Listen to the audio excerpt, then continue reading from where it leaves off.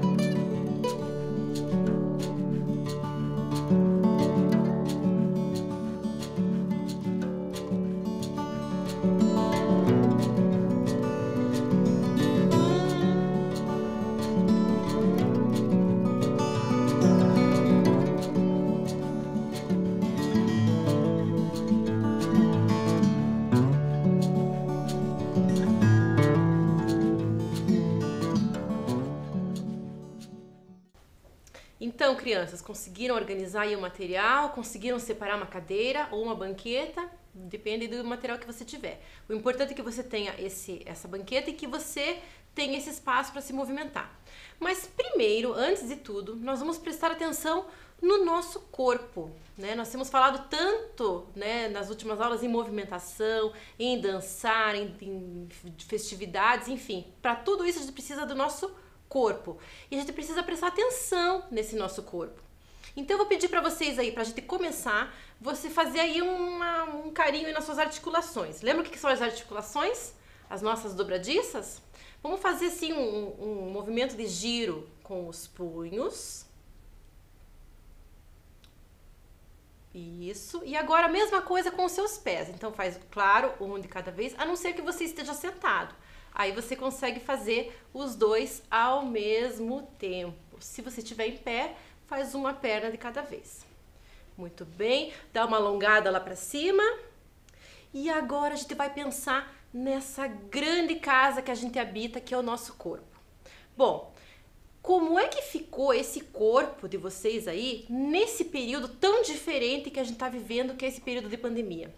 Tem muita gente falando que está se sentindo cansado, abatido, sem ânimo, e o corpo vai sentindo esses efeitos, né? Desse período tão grande de incertezas, um período tão grande que a gente não sabe realmente o que vai acontecer. O nosso corpo vai sentindo. Será que o corpo de vocês aí, crianças, está sentindo isso também? Será que você já parou para pensar como é que o seu corpo se comporta e como é que ele se movimenta aí na sua casa, se você passa mais tempo na sua casa, como que é essa movimentação? Que atividades que você faz ao longo do dia? Você fica muito tempo parado num mesmo lugar? Será que aí nesse período de videoaulas você está passando muito mais tempo largado num sofá? Ou você consegue lá sentar direitinho, fazer as atividades, fazer as lições numa, numa posição mais confortável? Que será que acontece com esse corpo? Será que esse corpo anda mais cansado ou será que esse corpo está mais ativo? vai depender muito do dia que a gente tá, do nosso humor, é claro, influencia bastante. Mas a gente geralmente, nas tarefas que a gente executa todos os dias, a gente acaba meio que fazendo no automático. E a gente não presta atenção no, na qualidade do nosso movimento, em como que a gente faz com o nosso corpo, e isso pode até ser prejudicial, pode prejudicar a nossa saúde. Então pense aí como é que você se movimenta desde o seu levantar, quando você sai da cama. Qual é a, o jeito que você sai da sua cama? Você vira para um lado? Você já levanta assim de frente? Como é que você faz? Como é que a movimentação é para este lado? É para este lado? Pensa lá. Depois disso, qual que é o próximo gesto que você faz? Você se locomove, você anda, né? Você se espreguiça. O que que você faz? Tenta pensar aí na sua memória. Vai ficar de tarefa para a semana em você prestar atenção na sua movimentação enquanto você passa o seu dia. Como que fica o seu corpo também em repouso? Né? Em repouso, totalmente descansando lá, totalmente repousado. O que, que acontece com ele? O que, que você faz em repouso? Você assiste TV? Você escuta uma música? E como é que fica o seu corpo em relação a esse momento? Que posição que você gosta de ficar em repouso? Mais tempo deitado, mais tempo sentado. Não sei. Cada um aí tem o seu jeito de repousar, não é verdade?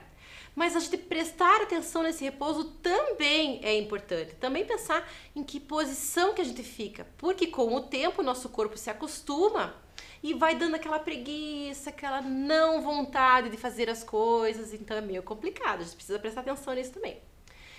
Como que se, o seu corpo se comporta nas atividades que você faz do, do dia a dia? E quando eu falo nessas atividades do dia a dia, eu tô pensando em tudo que você pode fazer. É o brincar, é o estudar, é se movimentar, de repente sair para algum lugar, né? Qualquer atividade dessa, até as mais simples, como escovar os dentes, ir ao banheiro, o que, que você, como é que o corpo se comporta? Então, tudo isso eu quero chamar a atenção para vocês agora. E como é que esse corpo se comporta em relação a esse objeto, a esse objeto cadeira? Você já parou para pensar que a cadeira é um objeto que está presente no nosso dia a dia e que muitas dessas atividades a gente faz sobre uma cadeira? Já tinha parado para pensar nisso?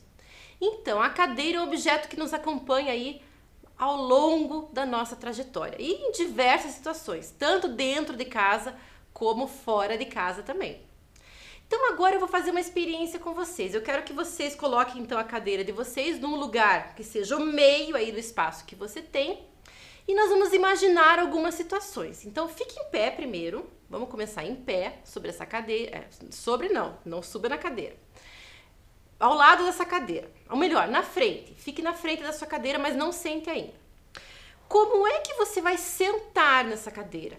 O, o gesto de sentar, a ação de sentar você já parou para pensar que para isso você movimenta diversos músculos e diversas articulações do seu corpo? Então agora você vai se sentar lentamente, prestando atenção em cada parte do seu corpo que se movimenta. Bem devagar. Isso, você se sentou? Está confortável? Se posicione e tente ficar aí na sua cadeira o mais confortável que você conseguir se perceba agora nesse espaço dessa cadeira. Se perceba nessa. Imagine que tem um círculo em volta de você e que esse círculo está muito perto de você, que você só tem esse espaço da cadeira para se movimentar. Como é que está esse corpo aí? Está bem acomodado? Você se sente muito pequeno em relação a essa cadeira ou você se sente muito grande em relação a essa cadeira? Será que é uma cadeira que balança?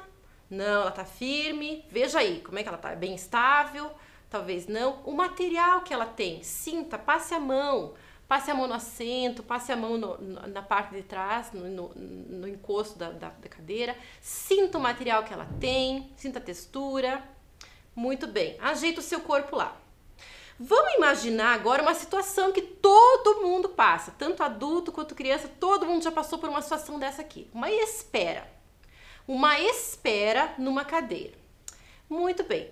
Pra gente pensar numa espera, vamos, vamos imaginar uma situação assim: você foi ao médico ou ao dentista, geralmente as pessoas não gostam de ir ao dentista, mas você foi ao dentista, você chegou lá, mais ou menos no horário marcado, e se sentou nessa cadeira e está esperando. Como é que o seu corpo se comporta com essa espera? como é que você fica? Você se posiciona direitinho?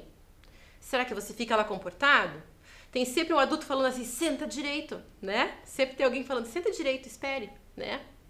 Só que essa espera agora tá demorando demais. O dentista atrasou e você já tá assim, ai, não gosto de dentista, tô ficando ansioso, tô ficando com medo, não quero ir no dentista. Como é que o corpo se comporta? O que, que vai acontecendo? Será que você começa a procurar outras posições? Será que o seu corpo fica desconfortável nessa espera? Como é que você imagina que fica? Ou se você já vivenciou essa situação? Tenta lembrar como é que foi. E presta atenção e tenta imaginar que você está lá nesse consultório, nessa sala de espera do consultório, e o seu corpo está lá cansado de esperar já. Ele fica, né, imaginando lá como é que você começa a fazer outras posições e tenta olhar para o lado e fica olhando. Tem gente que começa a balançar os pezinhos porque fica ansioso. Enfim, veja aí como é que seu corpo se comporta. Conseguiu pensar nisso? Muito bem. Volta à posição normal. Faz de conta que agora você desmanchou tudo. Teu corpo está neutro lá em cima da cadeira. Mas nós vamos pensar em outra situação. Nós vamos pensar como é que o nosso corpo se comporta na hora da refeição. Hum, é claro que cada família, cada casa tem os seus hábitos de refeição. Tudo bem. Mas normalmente as pessoas fazem a refeição sentadas à mesa. Então tem uma mesa e a cadeira chega próxima da mesa para a gente fazer uma refeição. Então vamos pensar nesse padrão aí. Vamos imaginar que na sua frente, nessa mesa imaginária agora, porque você só tem a cadeira, a mesa imaginária, e o prato imaginário que você tem aí, nesse prato imaginário tem uma comida que você gosta muito. E você está com muita fome. Como é que você vai comer essa refeição? O que, que acontece com o seu corpo? Você já foi com esse corpo para frente, próximo desse prato? Já está com movimentos muito rápidos querendo comer essa comida? Vamos imaginar o contrário agora. Você está lá esperando a refeição, você está com fome, mas a comida que está ali, hum, você não gosta muito, você sabe que vai ter que comer. Aí você começa a pensar, hum, aí você começa a enrolar, será que você vai comer? Aí começa a brincar com a comida no prato. Já vi isso acontecer. E aí, como é que fica? Aí o tempo vai passando e não vai dando vontade, e o corpo vai ficando diferente, e a cadeira está incomodando e você não vê a hora de sair dali. Não é verdade que acontece isso? Muito bem. Fez aí com o seu corpo? Imaginou posições? Então volta para a posição neutra. Muito bem. Vamos imaginar outra situação agora. Vamos imaginar como é que você estuda. Como é que você se posiciona lá na cadeira para você estudar? De preferência que você estude numa cadeira, né? Mas eu sei que tem gente que não estuda sentado numa cadeira. Tem gente que estuda nos lugares mais diversos possíveis. Será que isso é bom para o seu corpo? Mas de qualquer forma, nesta cadeira que você está agora, imagine que você está na sua situação de estudo. E imagine como é que o seu corpo vai, vai se comportando. Você está lá fazendo uma lição que você está entendendo muito bem. Está escrevendo, como é que é o gesto de escrever? Faça o gesto de escrever. Como é que você fica? Você geralmente apoia a mão na sua cabeça, porque quando a lição está começando a ficar cansativa, o que, que vai acontecendo com o seu corpo? Você inclina para um lado, inclina para o outro. Ai, a cadeira começa a ficar incômoda, né? Ai, a lição não acaba nunca, ou a aula que você está assistindo não acaba nunca, e o corpo começa. Eu sei que tem gente que já fica com as pernas para cima na cadeira, né? Que não consegue ficar paradinho muito tempo no lugar. Normal, mas é para você perceber o que se acontece com você. Muito bem. Volta lá para o seu corpo neutro. Muito bem. Agora eu vou pedir para você se levantar dessa cadeira. A gente vai imaginar agora essa cadeira vazia, porque a ideia que a gente vai pensar agora é na ausência. Tem uma falta ali, não tem ninguém ocupando esse espaço da cadeira. E você está ao lado dessa cadeira. E você vai olhar para essa cadeira, para o espaço vazio que ela está ocupando ali, e de repente te vem memórias olhando essa cadeira. De repente é uma cadeira que te lembra alguém, né? Que te lembra alguma coisa. Pode ser uma cadeira que te lembra uma situação, às vezes uma situação triste, pode ser uma situação engraçada. Como é que fica o seu corpo dando a volta nesta cadeira? Dê a volta nessa cadeira, tocando essa cadeira, sentindo a textura da cadeira, sentindo o material. Ela é um material mais gelado? É um material mais áspero? Sinta, sinta com a sua mão. Passe a sua mão. Essa ausência te lembra alguém ou alguma coisa? Pensa aí. Esse conceito de ausência é muito importante e vai, vai, vai ser usado depois na nossa próxima atividade. Ok? Se posiciona ao lado da cadeira novamente e volta ao seu corpo neutro. Mais uma situação para a gente pensar. O descanso. Você está em pé ao lado da sua cadeira e você vai agora descansar. Como é que acontece esse descanso? Você vai simplesmente despencar o seu corpo na cadeira? Ou será que você vai sentar delicadamente e vai descansar esse corpo na cadeira? O que, que significa esse descanso? É soltar todo o peso desse corpo sobre essa cadeira. Veja como é que o corpo fica. Relaxe os ombros, relaxe o rosto, relaxe tudo. É descanso. Você vai soltar agora esse corpo sobre a cadeira. Deixe tudo o mais relaxado possível. Será que as suas pernas já estão lá, esticadas para frente, já estão relaxadas? De repente você se sentou de lado e usou o, o, o encosto da cadeira para você repousar a sua cadeira. É uma ótima posição para descanso, não é? Experimente aí, veja se não descansa. Né? Então é uma outra forma de você utilizar a cadeira. Tem gente que vira a cadeira e senta ao contrário, com a barriga é, voltada para o encosto, que é para as costas. Outra forma de descansar também. Experimente aí, veja como é que o seu corpo fica nessa posição. Se você for muito pequenininho em relação a essa cadeira, cuidado na hora que você for trocar essas posições. Muito bem. Então agora eu vou pedir para você voltar ao seu corpo neutro novamente. E eu vou mostrar para vocês uma experiência, uma experiência de dança que vai justamente usar esse espaço que a gente acabou de experimentar. O que eu vou mostrar para vocês agora é o trabalho de uma bailarina chamada Andrea Spolaor, e ela tem uma academia de dança e ela trabalha também online com os seus alunos, com seus alunos que também são dançarinos. E ela vai fazer então uma experiência aqui, uma coreografia. Você sabe o que é uma coreografia?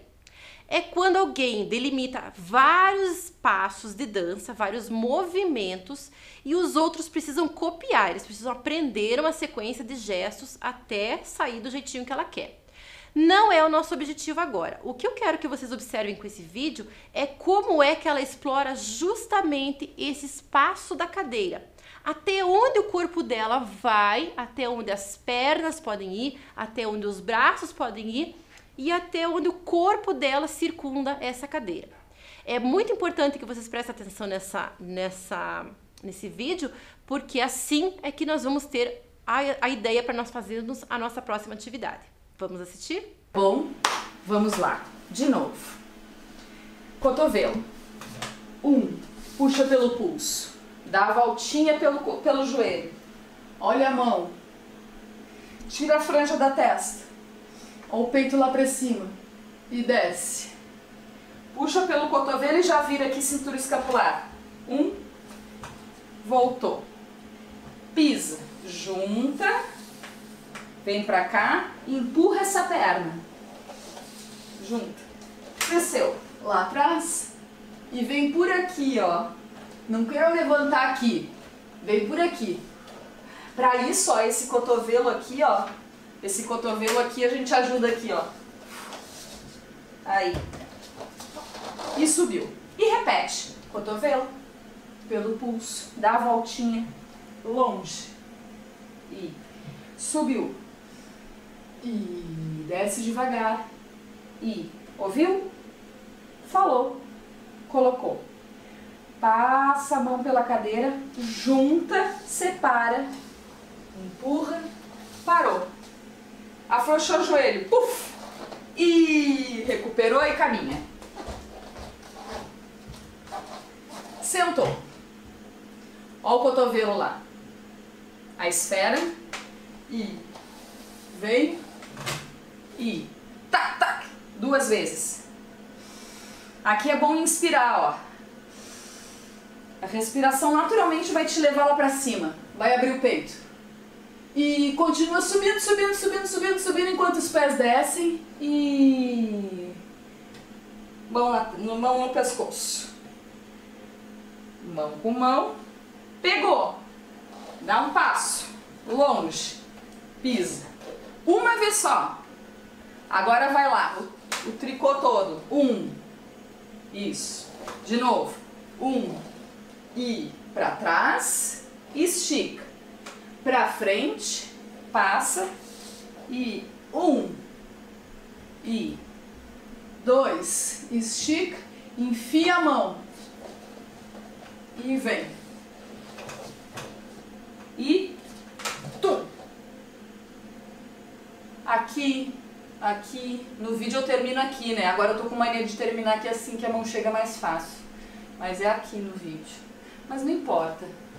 Importa que chegue devagar essa mão.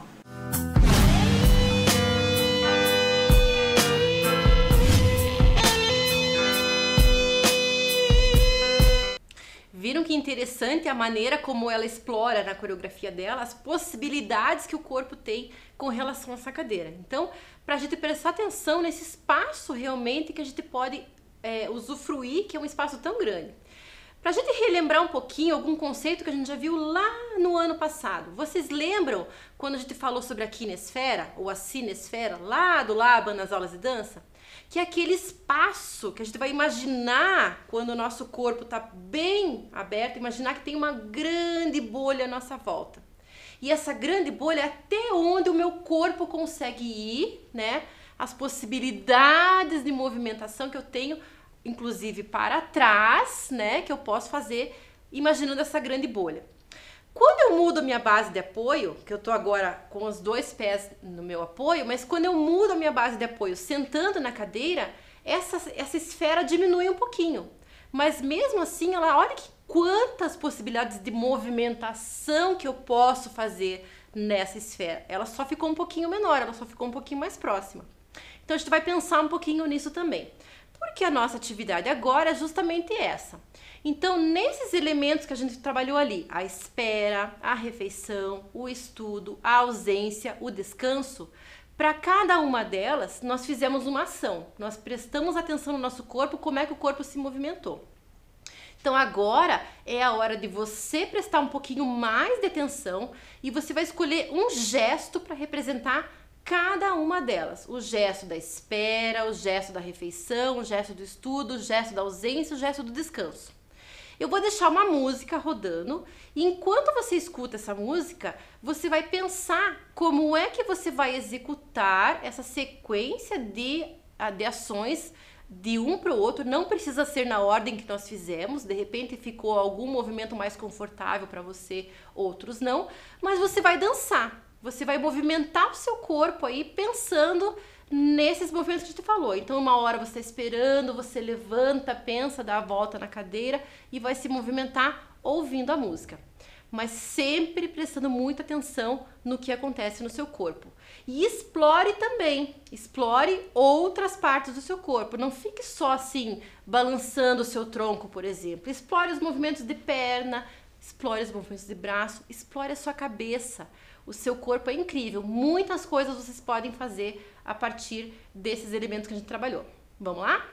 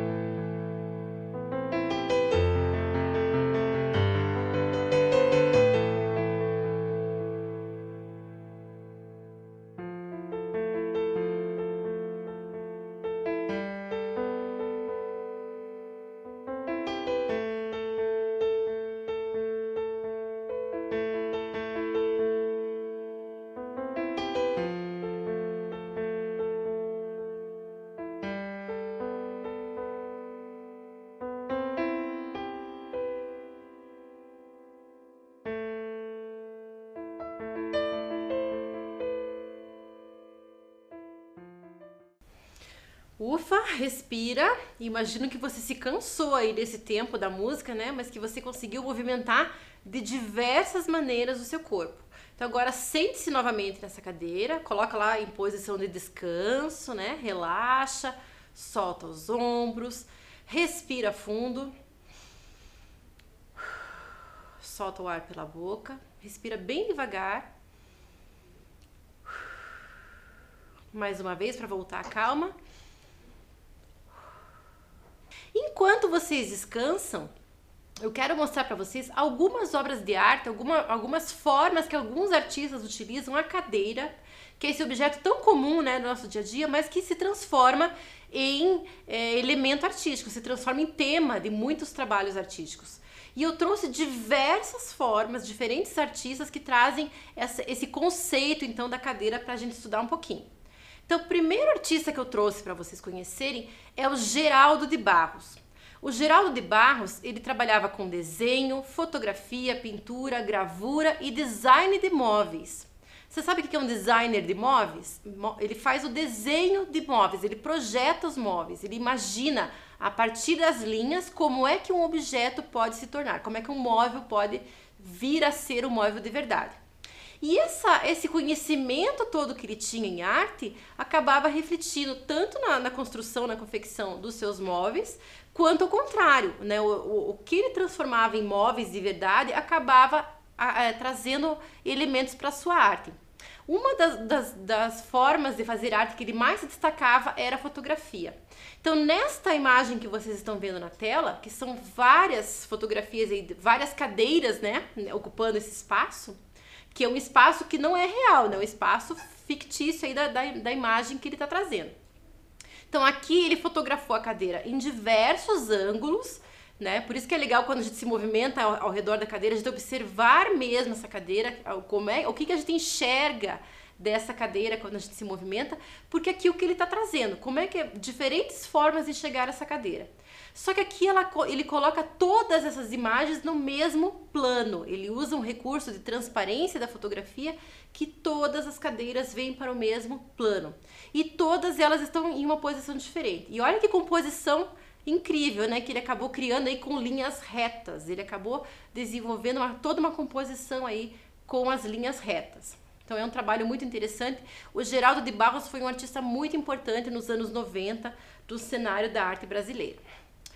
Outro artista importante e que vocês devem conhecer, talvez aí pela pincelada, talvez pela cor, vocês devem ter identificado que é o nosso, nosso conhecido já de outras aulas, que é o Van Gogh, Vincent Van Gogh.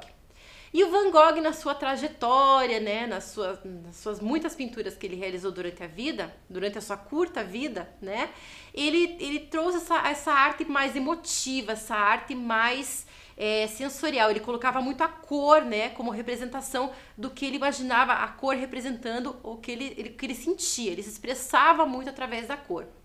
Este quadro em específico, que é uma cadeira que ele retratou, a gente chama de cadeira de Van Gogh, porque esta cadeira está representando justamente a personalidade do próprio artista, em comparação com uma outra cadeira que ele pintou que retratou o seu amigo Gauguin.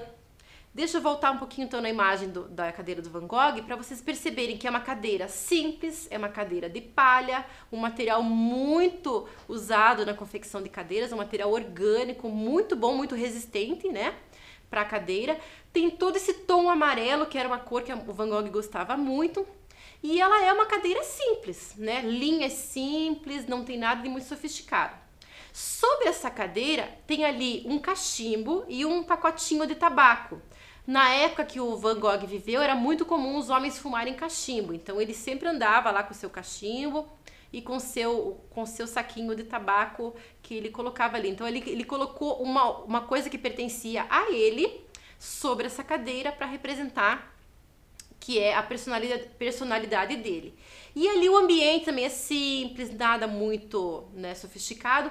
Lá ao fundo tem uma caixa com os pertences do Van Gogh e tem a assinatura dele, Vincent. Ao contrário do Van Gogh, o retrato que ele fez, a cadeira que ele fez retratando o seu amigo Gauguin, é uma cadeira um pouquinho mais sofisticada, com uma madeira mais nobre. O desenho dessa cadeira já é um pouco mais é, elaborado, né? Então ali tem as cores, já tem um lugar, o lugar, né, que essa cadeira está já é mais sofisticado, tem um tapete ali, um fundo muito mais sóbrio também. E sobre essa cadeira tem um candelabro. Você sabe que um candelabro é um instrumento que se usava antigamente porque a iluminação era feita toda a vela, né? Então é um, um objeto para segurar então justamente a vela para as pessoas poderem se locomover sem que a cera queime, né? E, e cause algum problema.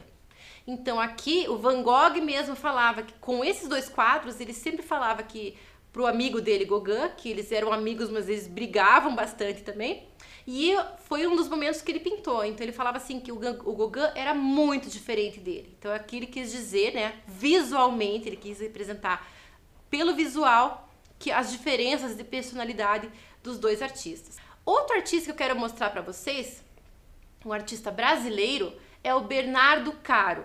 Bernardo Caro também, assim como Geraldo de Barros, também teve uma, uma grande importância na arte brasileira e ele também trabalhou com pintura, com desenho, com escultura, com fotografia e com gravura, que é o caso dessa obra que vocês estão vendo na tela. Essa é uma gravura. Vocês lembram de aulas anteriores que a gente viu o processo da gravura, como é que acontece? Que é um processo bem lento, bem demorado, que o artista tem que pegar uma plaquinha, marcar essa placa com um material que, que faça a marca nessa placa, passar vários produtos químicos, depois entintar passar na prensa para daí sair a imagem. Esse é o processo dessa gravura. Essa gravura, o artista Bernardo Caro deu o nome de pausa. E vocês estão vendo ali duas cadeiras, né? Uma está oposta à outra. Então a gente já começa a pensar, mas por que, que tem duas cadeiras em oposição ali uma à outra? Por que, que essas cadeiras estão vazias?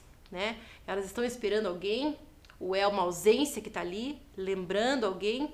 Então, uma forma poética aí dele, dele conseguir trabalhar com a ideia da pausa.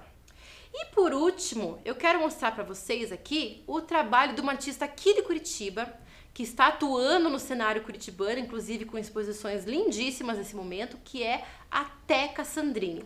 A Teca Sandrini é uma professora muito importante da Escola de Música e Belas Artes aqui do Paraná. Ela também ocupou um papel de diretora no Museu Oscar Niemeyer, e agora ela se dedica ao trabalho com arte. Mas nesse trabalho com arte, ela sempre vai mostrando o papel de mãe, de mulher e de artista, como é que ela equilibrava esses papéis.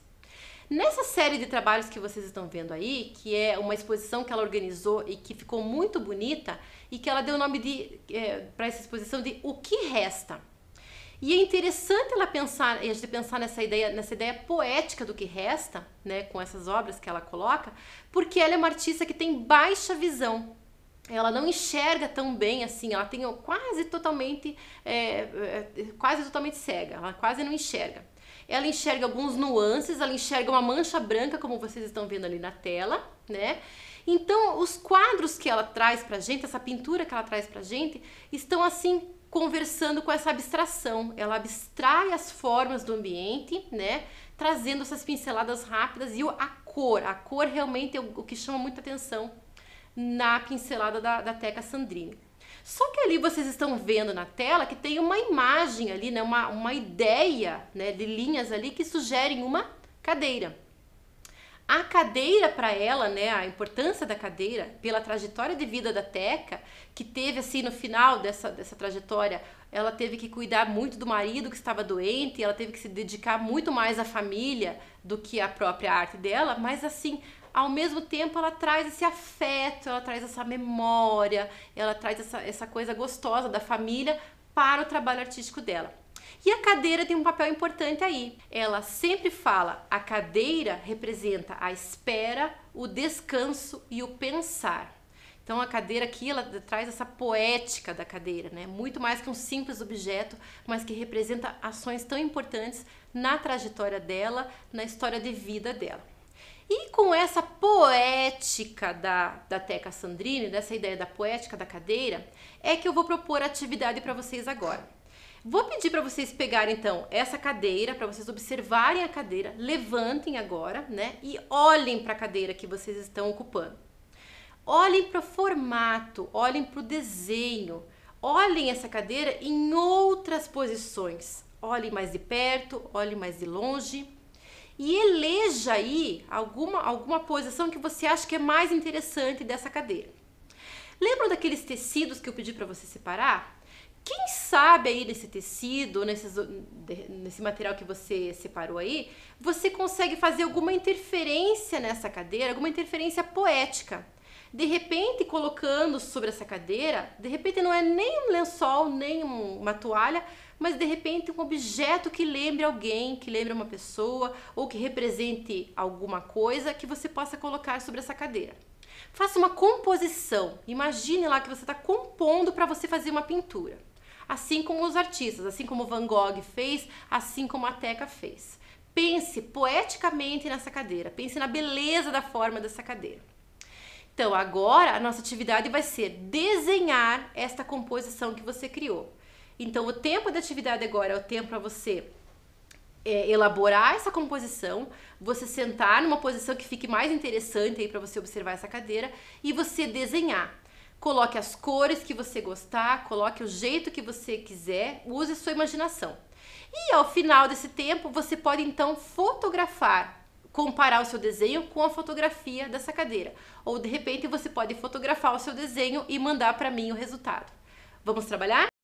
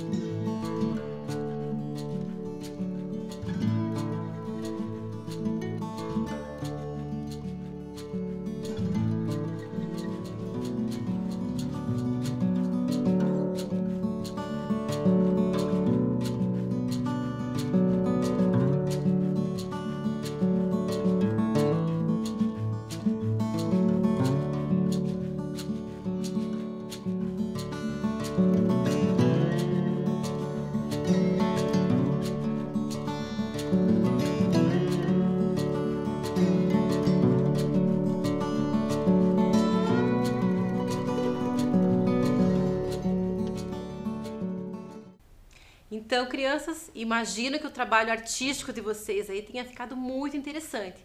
De repente, você até pode pensar em outras formas de representar a cadeira. E de repente, para aqueles que usaram a máquina fotográfica ou que usaram a câmera do seu celular, de repente fica o convite aí também para você brincar né, com recursos do próprio celular. De repente você pode ver como é que fica essa imagem em preto e branco, desfocada, com outra cor. Experimente aí que às vezes tem o recurso do próprio aparelho que você pode brincar e experimentar e ver o que, fica mais interessante. De repente você pode compor mais de uma imagem na tela e dá para você se divertir fazendo muitas coisas. E dá para fotografar a cadeira e comparar com o desenho que você fez. Também é bem interessante. O legal da fotografia é que você tem que se preocupar também com o enquadramento. Você tem que se preocupar em deixar num ângulo que apareça aquilo que você quer mostrar e não todo o ambiente como né, a ideia é só mostrar realmente a cadeira e essa composição que vocês fizeram. Bom, espero que vocês tenham gostado dessa aula, que vocês tenham aprendido bastante, pintado e exercitado muito o seu corpo e até a próxima aula.